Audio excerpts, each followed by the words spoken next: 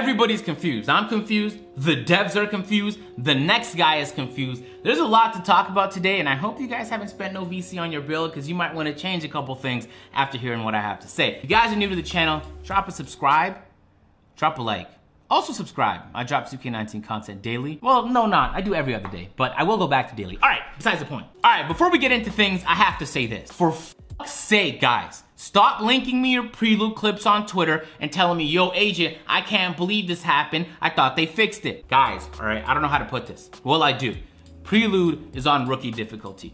My guys, if you're making build decisions because you made yourself a 5-7 post defender and he was killing it in the prelude and you wanna make it in the real game, you're gonna make a mistake. The prelude, they purposefully make it easy. Just think about it. The prelude is free, so a lot of people that don't end up getting the game still download it. And because it's a lot of casuals downloading it, 2K can't give you a 60 overall, then put you on Superstar or Hall of Fame sliders. So they put people on rookie and people start to bang their shots, hit contested shits, shove people out the way, like whatever it is. So the second you start to see your player doing some cool things, you're like, yo, this is the build based on Prelude gameplay. Well, go, you know what? Just do it anyway and then let me know how bad your mistake turned out. All right, we got that out the way. Don't make build decisions based on the prelude. Okay, well here's where the confusion starts, ladies and gentlemen. If you guys remember, a few days ago, Zach put out this post producer for NBA 2K, and uh, he's basically telling us which builds can reach 86 ball control and which builds can reach 90 ball control. And that helped us out a lot, of course, because it can tell us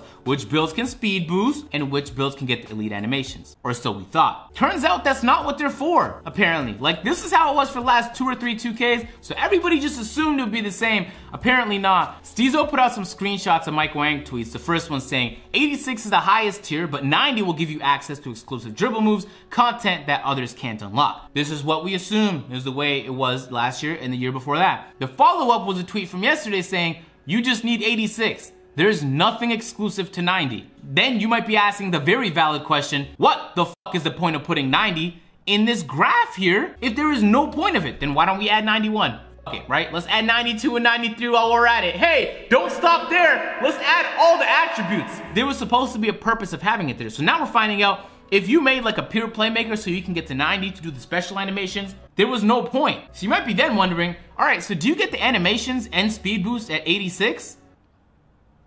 So BrutalSim put out this video and shout out to him. I'll leave his link in the description. He drops really dope 2K videos. And there was a person who sent to at to both me and him on Twitter and it was a video of his 82 ball control pure shot creator speed boosting. And you might be wondering, agent, I thought we just talked about how we needed 86 ball control to speed boost. That changes everything.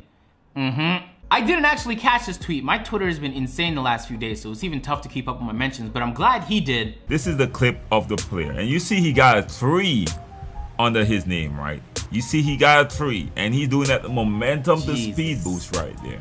So the three is significant. Past few 2Ks, the way it worked was if you see this three by your name, you're either one, a sharpshooter or a shot creator. So it's not like he's a playmaker primary or something like that and then pretending, right? And even to show us a little bit more proof, later on in the video in a separate link, the guy showed us his attributes. All right, so here it is, his ball handling attributes.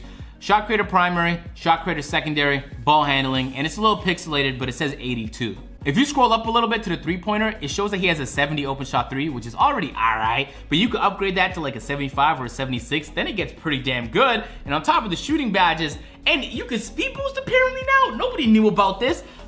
Know, pure shot creator is looking like a pretty good build.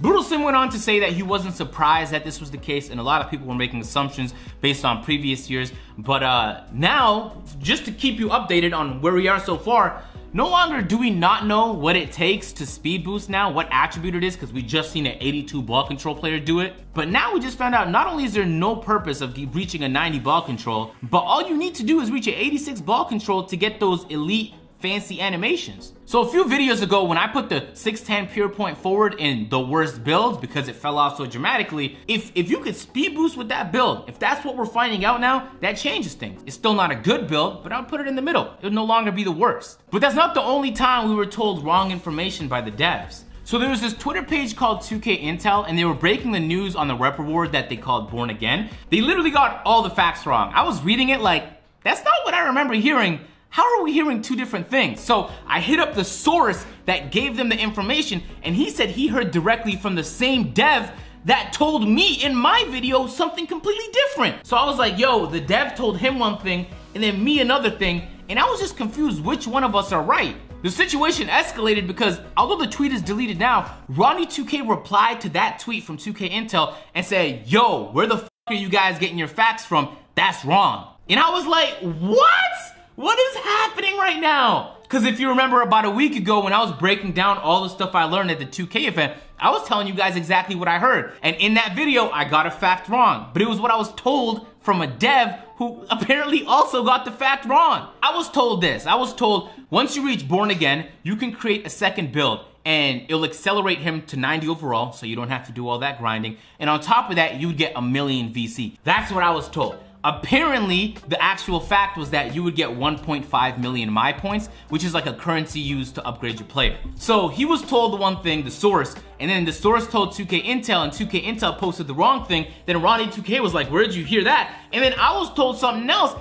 and then I even I got it wrong. So literally nobody got it right, even though we all got our information from the same dev. All right, so at that point, I was like, bro, I don't even know what to believe anymore. I was perplexed, ladies and gentlemen. I know a few people who have NBA 2K19 early, and they've been like finding the attributes and looking in there and there just to find out some more information. Because Mike Wang said that although we can't see the attributes for builds now in the prelude, because we can't go backwards, right? In the actual game, you can sift through and see the attributes, so it'll be easier for you to determine whether you wanna make your build or not. So this is basically what I wanted to tell you guys this entire video. If you haven't spent VC yet, I would wait to find out what your build is gonna be. Because although you can go on NBA 2K Lab and check out and compare badges and stuff like that, without all the information on the attributes and without that being comparable, you're kinda just guessing. And if you wanna be a casual player and have like a mid-tier build or a low-tier build or just guess, do whatever you wanna do at the end of the day. You don't have to listen to me. But I assume most of you guys want a really good build, one that can dominate and you can have a lot of fun with. And if so, then you want all the information possible before you make your decision. And in the past, although we thought we had a lot of that information, it seems like we don't. All right, so that's kind of where we're at. All hope isn't lost. Some people have been posting like really exciting or fun dribbling clips on Twitter of them in like 2KU or playing in the prelude. Who is it? Cole the Man put this dribbling exhibition out. Check it out, ladies and gentlemen. Yo, someone explain to me why Twitter video is always so pixelated. Jesus, it's like we're fucking recording this video in 2004. Cole the man brings the ball up the court. Ah, it lagged. Hey man, I love Twitter video, bro. I'm thinking about dropping out as a YouTuber to do Twitter video full time. All right, we should get it. Cole the man brings the ball up the court. Look at all this. Look at all the shenanigans, man. Do you guys remember when everybody told us that like stamina was gonna play such a big factor this year? I even heard from somebody that all you needed to do was one momentum boost and it would take away all your all your stamina. And I talked about that in a video and I was like, in my experience when I played with Kawhi at the event, it wasn't like that at all. But anyway, it seems like if you're a dribbler, you may not have had as much stamina as last year, but you'll be all right, man. You'll be able to do your dribble cheese, burn the whole clock, and infuriate the defender all the time. Don't worry about it.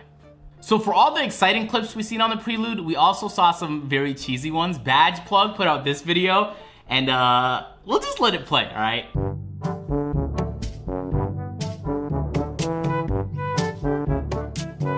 Much later that the old narrator got tired of waiting and they had to hire a new one.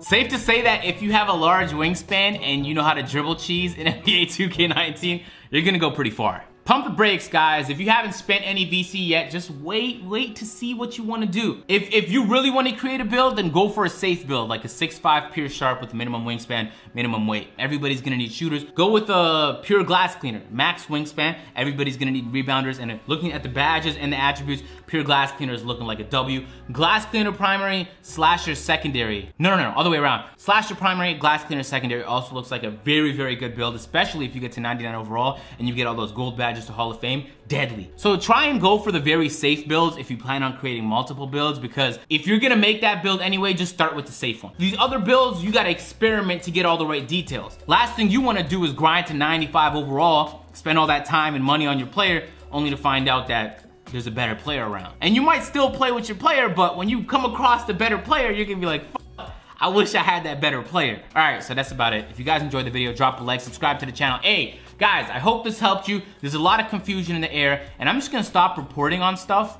as fact, because even if I hear it from an official source, I don't know if it's true or not anymore. So we'll just leave it like that. Click on one of these two videos here, and I'm gonna catch you guys in the next one. I'm out. Peace.